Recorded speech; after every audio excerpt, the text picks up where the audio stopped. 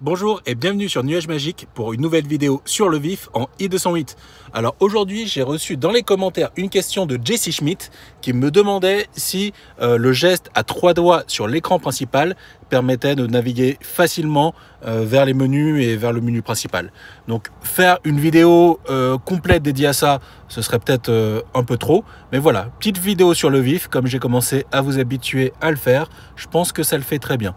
Donc du coup, trois doigts sur l'écran, voilà ce qui se passe. Et là, il me donne le choix entre musique, navigation, climatisation, téléphone, application, véhicule. Quelque part, c'est l'équivalent de ce qu'on va avoir juste ici, euh, qu'on aura juste là, à trois doigts. Et on va pouvoir aller dans application. Si je remets les trois doigts, téléphone, véhicule, climatisation, navigation ou musique. Alors là, il se trouve que j'étais en mode CarPlay juste avant, donc il me propose du CarPlay. Si on est sur la radio ou autre chose, j'imagine qu'il va proposer la radio. À la prochaine sur Nuage Magique.